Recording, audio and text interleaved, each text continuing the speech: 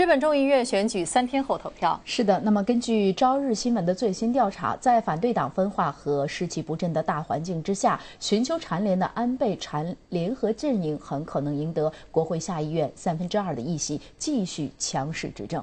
以下呢是本台驻日本通讯员石田三千代发回的报道。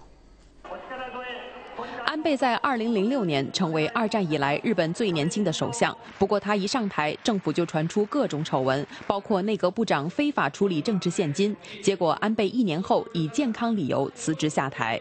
I think he got the great experience through the failure in the first administration in 2006, and he got the so much confidence through the his experience for last. 安倍二零一二年底再度出任首相，除了成立一支管理型内阁团队，本身的妥协手段也更纯熟。His personal character is a very strong nationalist.